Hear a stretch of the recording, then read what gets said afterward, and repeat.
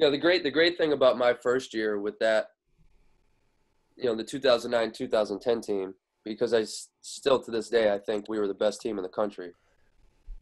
I don't think there's really Ugh, I know that was tough. that one, that one breaks my heart. Um, but for me, like like getting into this side of things, like going from player to coach, that was like the most rewarding year. One of my, you know, I've had some great years since then, but to be your first year to have the group that we had, like how enjoyable that team was, how close knit it was. Mhm. I was like so far or so closely removed from playing. Like I played with Andy and, and AO, you know, so to come back and now I'm- these guys are both 50 year guys and close friends. And then I meet you and, you know, that year was just, you know, for me getting into the coaching side of things, like I am just so grateful that that was my first season. Um, just because that group was so fun to be around, you know, not to mention how like our, we were incredible. Like it was such a fun team to watch play. But I, I think what people from probably our fans' perspective don't understand is how fun that team was when we weren't playing. You know, the everyday practices. You know, leaving the court.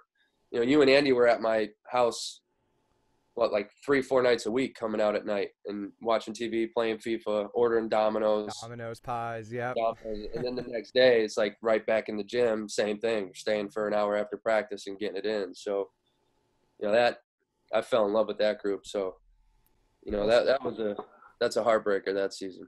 Yeah, I mean, AO to go down like Yeah. that. Like, I mean, it was like I said, it was a sprained ankle. It's like okay, you, could be- you might be able to bounce back for the tournament, especially once we get to the Sweet 16 and that uh, sh- you know regional championship round. But uh, to Terra quad, where it's just like, you know, his future standings. You Yeah, know, it to was go everything. play, it's You know, tough to pressure him.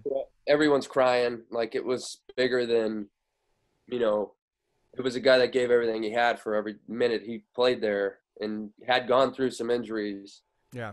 Know, and you have a chance to, you know, be the number one overall seed and go on and you know potentially win a national championship. It was bigger, I think, in that moment, seeing what he did and knowing that it was severe. You know, to see the look on on everybody's face that you know, was a part of that group that was kind of deflating.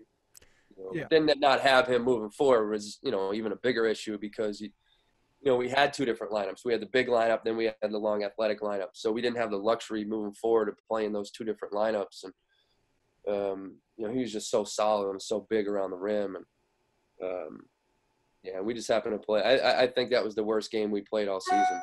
Ah, and we happened to run into Butler the first year. Like Brad Stevens and Gordon Hayward and the rest of that squad were just like, it, that, that game too. It just seemed like nothing went right for us either. You know, the silly turnovers, the sloppiness.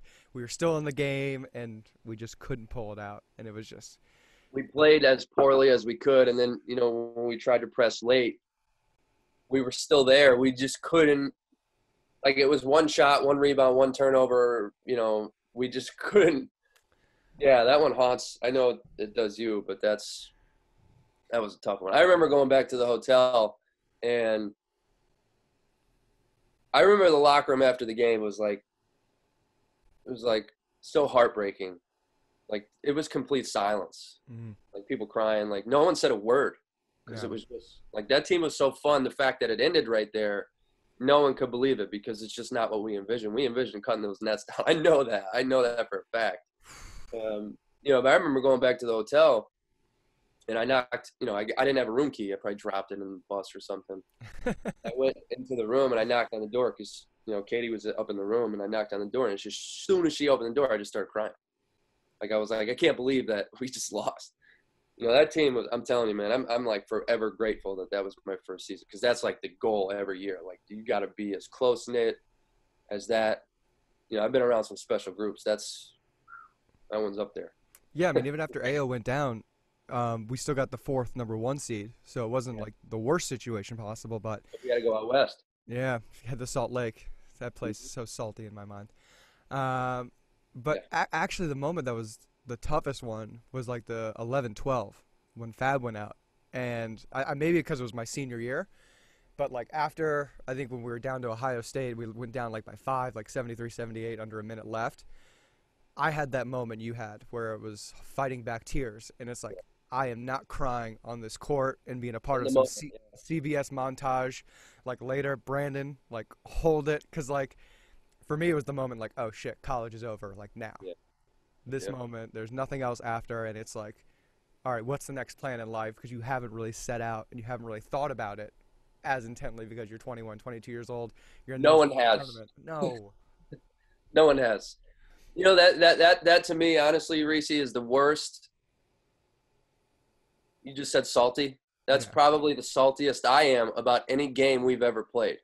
I felt like I felt like Jared Sullinger's I think it was the second foul in the first half was bogus and it was a bad call. And I felt like the next however many minutes, whether it be, you know, 25 minutes of the game was spent trying to make up for it and I'm not one to criticize, but there, there's there's very few games that of the ten years I've been back as a coach that I can remember being like, "What's going on? Hold the phone."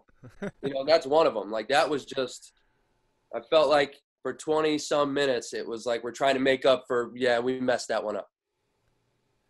I mean, it was crazy that not even did we have we had two Big Ten teams in a row in a Sweet 16 into the Elite Eight. We had Wisconsin, That was a great. That was a great game. That was one of the best college basketball games I've ever been a part of. it was a nuts game. I mean, I remember even I forgot who the guard was. He put up a shot at the end, and it was like, I mean, just there it is, 50-50 ball going up in the air. That drops, we're out, and he misses it, and it was just like, I had that scout too, and I remember I was screaming, "Sit on the left," because we had scouted it all week. Like, listen, late in the shot clock, he's going to go to his left hand and he's going to use the hezzy. He's going to try to freeze you. He's going to pull. So when it got down to like the last play of the game, I remember just standing up screaming as loud as I could. Frank, remember, I think Kaminsky was it Frank Kaminsky came in mhm. was it his freshman year, I think, and hit. And I'm sitting there, I got the scout. I'm like, all right, well, who's this cat and why is he doing this right now? You know, I'm pretty sure it was Kaminsky. Ugh. But that was a great college basketball game.